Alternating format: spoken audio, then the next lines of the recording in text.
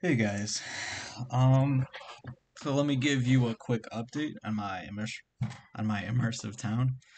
Um, so up at the top right hand corner, I added a few quests. Um, this first one is is called New Guy in Town. So basically, talk to a character called Metro about a person. Uh, this first mission is really just supposed to be like a really basic one. Um, really just talk to this NPC about one of the town's resident uh, residents. Um, and then that's really it. So then you talk to him, it'll say quest log updated, and then he tells you to come back to him for his second mission for you. So then you could really just talk to him like whenever.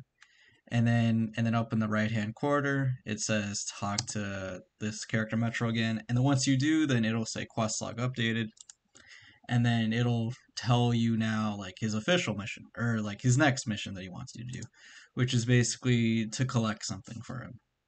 Um, and then and then it'll say up at the top right hand corner, just like a little message that tells you to to grab this weapon for him. Press spacebar, you grab the weapon, and then this updates the mission. So then you basically go back to him.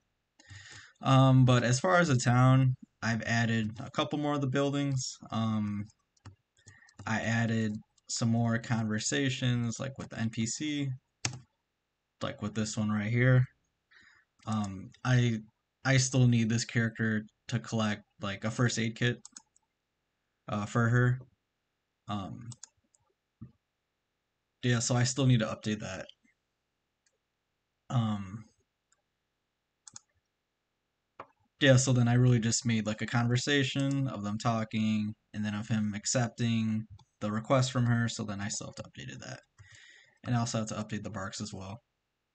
But overall, I still have to add some more stuff in the town right here. Like some more buildings, some more places where where this character could be able to like find like find weapons, find other things, like discover like hidden clues about about like one of the bad people in town. Um and then and then outside of the fort it's still the town but like this is the place where people don't really travel to and so then essentially with the previous npc that you just that you just talked to um she and the other npc are all worried about this guy so then she wants you oh yeah, then I updated like some of his barks. So then, so then, the NPC wants you to go into this shed, and then to grab this first aid kit, and then to bring it back to her. So I just have to do that for for the next couple days. So yeah, um, that's about it. Thank you for watching.